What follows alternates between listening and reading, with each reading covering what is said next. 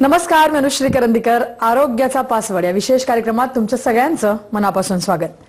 या कार्यक्रमामध्ये विविध तज्ज्ञ डॉक्टर आपल्याला निरनिळे रोग त्यांची लक्षणं त्यांची कारणं वेगवेगळ्या उपचार पद्धती या सगळ्या विषयांवरती मार्गदर्शन करत असतात आणि आपल्याला देत असतात आरोग्याचा पासवर्ड. आरोग्याचा पासवर्ड या विशेष कार्यक्रमामध्ये आजचा जो आपला विषय आहे तो म्हणजे पीसीओडी थायरॉइड लठ्ठपणा आणि संयुक्त उपचार पद्धती. आणि या विषयावरती मार्गदर्शन करण्यासाठी अर्थातच आपल्यासोबत आहेत सुप्रसिद्ध doctor doctor Anil Patil. Doctor कार्यक्रमात मनापासून स्वागत. नमस्कार. तर प्रेक्षक आजचा विषय तुमच्या लक्षात आलेला असेल. आजचा विषय अत्यंत महत्त्वाचा आहे कारण हा विषय अत्यंत फोफावत चाललेला आहे. तरुण मुलींमध्ये या सगळ्या समस्या आजच्या घडीला दिवसेंदिवस वाढताना दिसत आहेत. आणि त्या अनुषंगाने एक खात्रीशीर उपाय म्हणून जर का कोणाकडे बघता येईल तर ती म्हणजे संयुक्त उपचार पद्धती. तर त्या अनुषंगाने आपण आज चर्चा करणार आहोत आणि मार्गदर्शन करून घेणार आहोत. परंतु त्याआधी आपण डॉक्टरांची थोडक्यात ओळख करूनही घेऊया. आपल्यासोबत आहेत डॉक्टर अनिल पाटील. त्यांनी के एम मधून एमबीबीएस आणि एमडी हे गोल्ड मेडल मिळवून पदव्युत्तर शिक्षण घेतलंय. या व्यतिरिक्त डॉक्टर अनिल पाटील यांनी इतर वैद्यकशास्त्र जसं की अॅक्युपंक्चर अॅक्युप्रेशर ऑस्टिओपॅथी कायरोप्रॅक्टिस योग आयुर्वेद रेकी हिप्नोमेझिक थेरपी यांमध्ये देखील विशेष प्रावीण्य मिळवलंय. रुग्णसेवेसाठी त्यांना अनेक सन्मानांनी आतापर्यंत गौरवण्यात आलंय.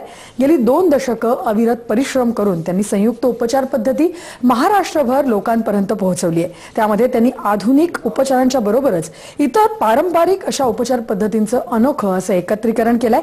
गेल्या सव्वीस वर्षात सत्तावीस लाखांहून अधिक रुग्णांनी संयुक्त उपचार पद्धती यशस्वीपणे अनुभवलेली आहे. सामान्य लोकांना समजेल अशा सोप्या भाषेत विविध उपचारांबद्दल डॉक्टरांनी अनेक पुस्तकं लिहिली आहेत. त्यापैकी काही पुस्तकं दाखवायची. तर संयुक्त उपचार पद्धती हे सगळ्यात सगळ्यांचं महत्वाचं पुस्तक. त्यानंतर इतरही विषय जसे की वंध्यत्व आणि संतती प्राप्ती. त्याचबरोबर लढा संधिवात आणि आमवाताशी हेही एक महत्वाचं पुस्तक. झुंज मणक्याच्या दुखण्याची. आणि त्याचबरोबर रेकीवरती सरांनी पुस्तक लिहिलेले आहे रेकी एक वरदान. जशी पुस्तकं सरांची प्रसिद्ध झालेली आहेत त्याचबरोबर त्यांच्या आवाजातील मंत्रोपचारांच्या अनेक सीडीजही आतापर्यंत प्रसिद्ध झाल्या आहेत त्यातल्या काही दाखवायच्या तर ह्या महामृत्युंजय मंत्र भंग रेकी असेल मंत्र संजीवनी असेल गुरु आणि गायत्री मंत्र अशा प्रकारच्या अनेक सिडीज सुद्धा त्यांच्या आवाजातल्या प्रसिद्ध झालेल्या आहेत. आणि जसं आपण म्हणतो तसं की संयुक्त उपचार पद्धती सगळ्या प्रकारचे रोग आणि आजार पूर्णपणे बरे करू शकते. त्याचे दाखलेही आपण देत असतो त्या रुग्णांच्या अनुभवातूनच. तर वैद्यकीय उपचार जी केंद्र आहेत ती संपूर्ण महाराष्ट्रभर पसरलेली आहेत. त्यामध्ये मुंबईमध्ये आठ ठिकाणी वैद्यकीय क्लिनिक्स आहेत. त्याचबरोबर पुण्यामध्ये चार आणि इतर महाराष्ट्रात जसे की सोलापूर नाशिक औरंगाबाद सांगली आणि कोल्हापूर. इथे सुद्धा वैद्यकीयची क्लिनिक्स आहेत. सर स्वतः या ठिकाणी जात असतात. त्यामुळे प्रेक्षक हो तुम्ही सुद्धा दिलेल्या नंबर्सवरती फोन करून अपॉइंटमेंट घेऊन तुम्ही डॉक्टर अनिल पाटील यांना भेटू शकता. कुठलाही रोग किंवा आजार झालेला आहे तुम्ही सगळे उपाय करून थकले आहात किंवा तुम्हाला संयुक्त उपचार पद्धतीच घ्यायची असेल तर तुम्हाला या वेदिकल क्लिनिक्समध्ये डॉक्टरांना नक्की भेटता येईल.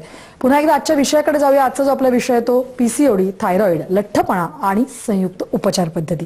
आपण थेट डॉक्टरांकडे जाऊया आणि आजच्या विषयाला सुरुवात करूया.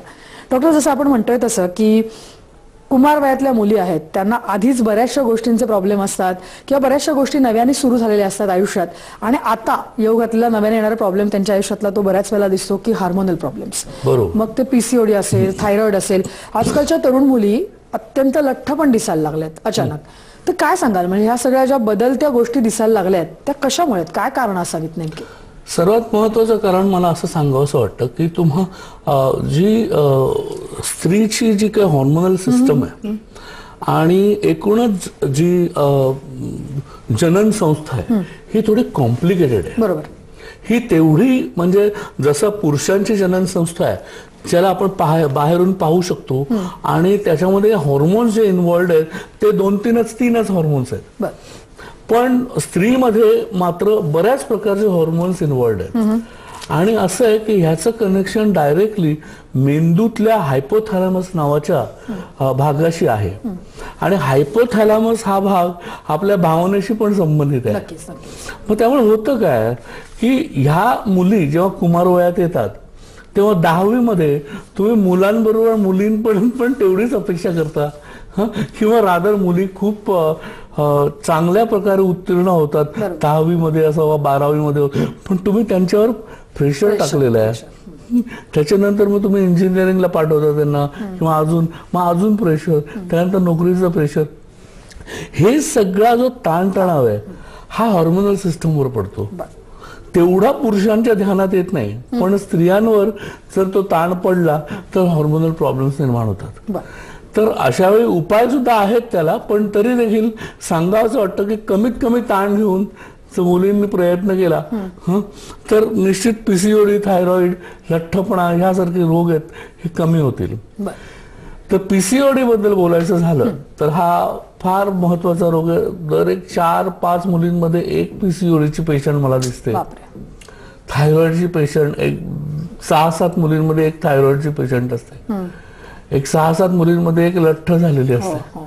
म्हणून हा विषय आपण घेतलेला आहे. तर थोडक्यात मी सांगतो कारण हा मोठा विषय त्यामुळे थोडक्यात सांगतो की असं असतं की दर महिन्याला बाराव्या ते सोळाव्या दिवशी स्त्री बीज बाहेर येतं फुटतं. आणि स्त्री बीज बाहेर आल्यानंतर जर लग्न झालेलं असेल आणि संबंध आले पुरुषाशी तर मूल होण्याची शक्यता असते. पण तेच स्त्री बीज वाढलं बाहेर आलं आणि फुटलं नाही तर काय होतं तिथे त्याचा एक गाठ तयार होते.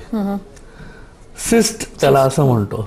ही जी गाठ तयार होते ही गाठ तशीच राहते आणि त्यामुळे पाळी येत नाही. आणि पाळी जर आली नाही तर असं कायम जर चालत राहिलं चक्र तर बऱ्याच गाठी तयार होतात. बरोबर. पॉली म्हणजे खूप. सिस्ट म्हणजे गाठी ओव्हॅरियन म्हणजे बीजकोश. म्हणजे बीजकोशांच्या गाठींचा रोग ओके. असं आपण त्याला म्हणू शकतो. पॉलिसिस्टिक ओव्हॅरियन डिसीज ह्याच्यामुळे प्रचंड विविध प्रकारचे लक्षणं निर्माण होतात. इथे मी या स्लाइडमध्ये दाखवलं की पीसीओडी मध्ये नॉर्मल बीजकोश कसा दिसतो आणि पॉलिसिस्टिक जो झालेला आहे तो बीजकोश कसा दिसतो. हे या स्लाइडमध्ये तुम्ही पाहू शकता. आता होतं काय नेमकं पीसीओडी मध्ये? पीसीओडी मध्ये स्त्री शरीरात पुरुष संप्रेरकांची अतिरिक्त वाढ झालेली असते. आणि त्यामुळे लक्षणं निर्माण होतात. मग कारण काय त्याची? त्यात जनुकीय बदल आहे कमी वेळात वाढलेलं वजन आहे मानसिक तणाव आहे संप्रेरकांचं अनियंत्रण आहे. अशा प्रकारचे विविध प्रकारची लक्षणं होतात. आणि लक्षणं म्हणजे अनियमित मासिक पाळी अतिरिक्त वजन केस गळणे चेहरा छाती शरीराच्या भागावर केसांची अतिरिक्त वाढ होणे त्वचेचा अतिरिक्त काळसरपणा तारुण्य पिटिका वंध्यत्व तसेच वारंवार गर्भपात अशा प्रकारची लक्षणं निर्माण होऊ शकतात. पीसीओडीचा पेशंट लांबून जरी आत आला तर मी पटकन ओळखतो आणि विचारतो. ते ते विचार करत जातं की डॉक्टरांनी? ओळखलं का अंतर्ज्ञान? आहे पण नाही. लाखो पीसीओडीचे पेशंट बघून. बघून किंवा थायरॉइडचे पेशंट बघून बघून पटकन ओळखता येतं.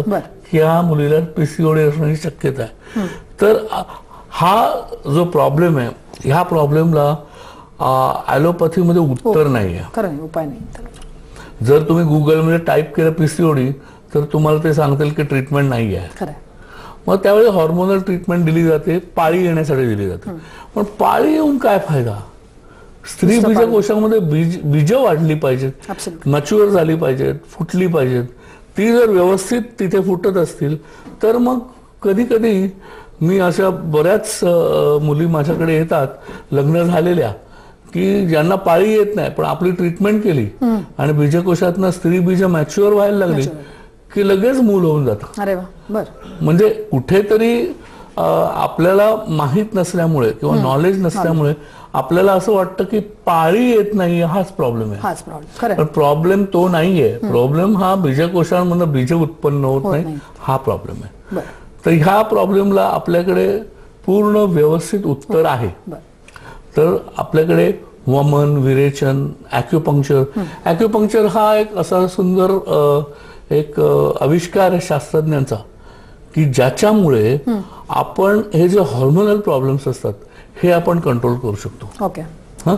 तर त्यामुळे पीसीओडी मध्ये हे जे काही पंचकर्माबरोबर अॅक्युपंक्चर वापरलं त्याचबरोबर मी नेहमी सल्ला देतो की तुम्ही योगासन प्राणायामाचा अभ्यास सुरू करा. हे जर कॉम्बिनेशनमध्ये आपण केलं तर निश्चितच आपल्याला दिसतं की काही महिन्यातच पीसीओडी कंट्रोलमध्ये येतो. स्त्री बीजकोशातनं बीज वाढायला लागतात. पाळी नॉर्मल होते. आणि मग मूल व्हायला पण प्रॉब्लेम होत नाही. नाही. ते फार महत्वाची गोष्ट आहे. नक्की. म्हणजे जसं तुम्ही सांगितलं जसं की हा विषय खूप मोठा आहे परंतु कन्व्हेन्शनल उपचार पद्धती ह्याला नाहीच आहे जर का तर मग आपल्याला संयुक्त उपचार पद्धती तातडीने घ्यायला पाहिजे. जेणेकरून मग जसं तुम्ही म्हणालात तसं की पुढे जाऊन इन्फर्टिलिटी किंवा इतर सगळे जे प्रॉब्लेम्स त्याच्याशी अटॅच्ड आहेत ते तरी होणार नाहीत. त्या अनुषंगाने आपण उपचार जे आहेत ते करू शकतो. बरोबर. या अनुषंगाने चर्चा सर पुढे नेणार आहोत आपण परंतु इथे वेळ झाली एका छोट्याशा ब्रेकची तुम्ही कुठे जाऊ नका पाहत आमचा विशेष कार्यक्रम आरोग्याचा पासवर्ड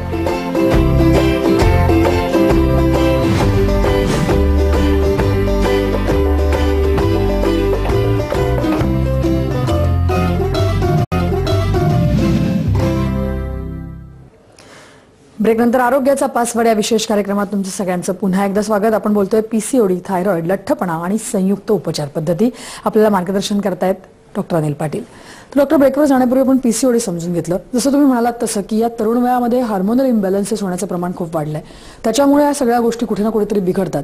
तर मग थायरॉइड आता थायरॉइडचेही तुम्ही म्हणालात तसे असंख्य पेशंट तुम्ही पाहिलेत.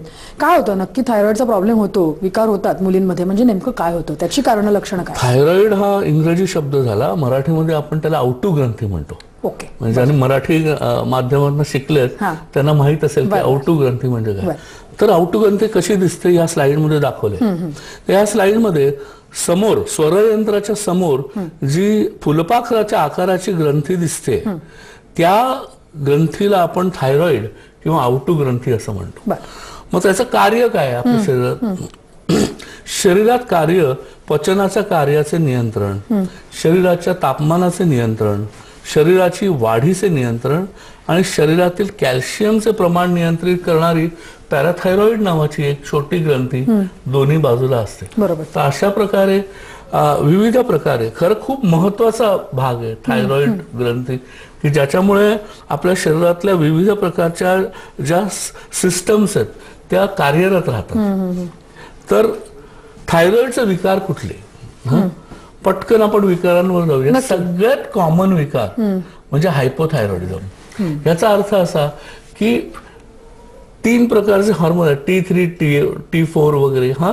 तर हे जे हॉर्मोन्स म्हणजे थायरॉक्झिन नावाचं जे संप्रेरक किंवा हॉर्मोन आहे हे विशिष्ट प्रमाणात स्रवत नसेल किंवा कमी प्रमाणात स्रवत असेल तर आपण म्हणतो की त्याला हायपोथायरॉइडिझम झालाय.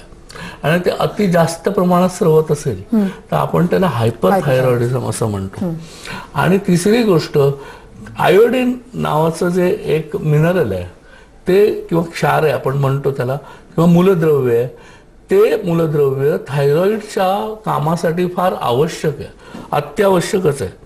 तर हे जर काम करत नसेल किंवा ते जर आपल्या आहारामधनं गेलं नाही पोटात म्हणजे आता समुद्राच्या मिठातून ते आपल्या पोटात जात असतं हं? पण समजा नाही गेलं तर गलगंड किंवा गॉयटर नावाचा रोग होऊ शकतो. तर अशा तीन प्रकारचे थायरॉइडचे विकार आपल्याला दिसतात. तर हे जे विकार आहेत पुन्हा प्रश्न तोच निर्माण होतो की थायरॉइड झाल्यानंतर काय करायचं? बरोबर. मग हायपोथायरॉइड झाला तर आपल्याला थायरॉक्झिन बाहेरनं सप्लाय करावा लागतो. आणि सप्लाय करायला लागतो आणि ते आयुष्यभर करावं लागतं. मग आयुष्यभर जर सप्लाय करायचं असेल तर मग काय ट्रीटमेंटचा अर्थ राहिला? आणि जरी सप्लाय केला थायरॉइड थायरॉक्झिन बाहेरून तरी देखील काही दिवसांनी त्याचा डोस वाढवावा वाढवायला लागतो. आणि त्याच्यानंतर त्या थायरॉक्झिनचे साईड इफेक्ट्स आपल्याला होतात. तर अशा प्रकारे आपल्याला दिसून येतं की थायरॉइड तर बरा झाला नाहीच पण त्याचे साईड इफेक्ट्समुळे आपण जास्त ताण भोगतो. तर ह्याच्यासाठी काय ट्रीटमेंट आहे? थायरॉइडला ट्रीटमेंट आहे का? हो हो. थायरॉइड बरा होऊ शकतो का? हा तुझा प्रश्न असेल. तर मी म्हणतो तो बरा होऊ शकतो. मग त्यासाठी काय करावं लागेल सर्वात महत्वाचं म्हणजे एक तीन महिने ते सहा महिने आपण अॅक्युपंक्चरचा कोर्स देतो. की ज्याच्यामुळे थायरॉक्झिनची लेवल नॉर्मल व्हायला मदत होते. त्यानंतर पंचकर्मानंतर सर्वात महत्वाची गोष्ट म्हणजे आपण त्या स्त्रीला खास प्रकारची योगासनं आणि मूळ बंध म्हणजे जिव्हा बंध मुद्रा सिंह मुद्रा अशा प्रकारच्या मुद्रा ह्या आपण करायला सांगतो. ह्या जर कंटिन्युअस करत राहिला आणि व्यवस्थित ट्रीटमेंट घेतली तर काही महिन्यात थायरॉक्सिन कंट्रोलमध्ये येतो. मग हळूहळू आपण त्याची मात्रा जी बाहेरनं देतो ती कमी कमी करत जातो. नक्कीच. म्हणजे तुम्ही म्हणताय तसं की कशा प्रकारे ही ट्रीटमेंट असेल किंवा कोर्स ऑफ ट्रीटमेंट काय असेल त्या अनुषंगाने आपण चर्चा पुढे नेऊया. इथे वेळ झाली एका छोट्याशा ब्रेकची तुम्ही कुठे जाऊ नका पाहत आमचा विशेष कार्यक्रम आरोग्याचा पासवर्ड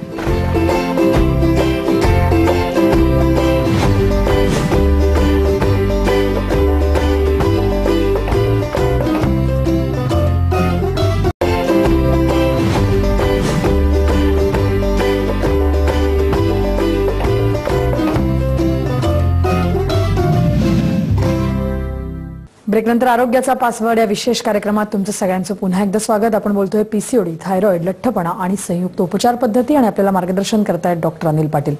डॉक्टर जसं तुम्ही मगाशी म्हणालात तसं की हे हार्मोनल चेंजेस झाल्यामुळे इथे हे सगळे प्रॉब्लेम निर्माण होतात. अशा अनेक मुली अनेक तरुण युवती तुमच्याकडे येतात आणि ट्रीटमेंट घेतात संयुक्त उपचार पद्धती घेतात. आणि जसं तुम्ही मगाशी म्हणालात तसं की दारातनं तुम्ही ओळखू शकता की ही पेशंट पीसीओडीचे याच्यावरच हे लक्ष येतं की आपण किती सारे पेशंट ट्रीट केलेत संयुक्त उपचार पद्धतीने आणि त्यांना पूर्णपणे बरं वाटलेलं आहे.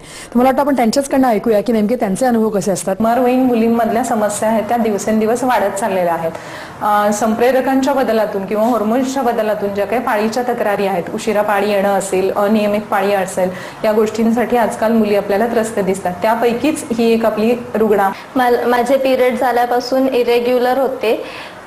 माझ्या आईलाही आमवाताचा त्रास होता. तिने इथे डॉक्टर अनिल पाटील यांच्याकडे ट्रीटमेंट घेतली.